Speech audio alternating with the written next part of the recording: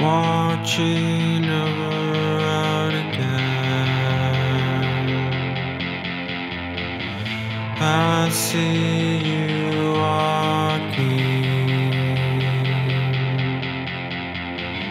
You are the bright light, the light that has turned to black.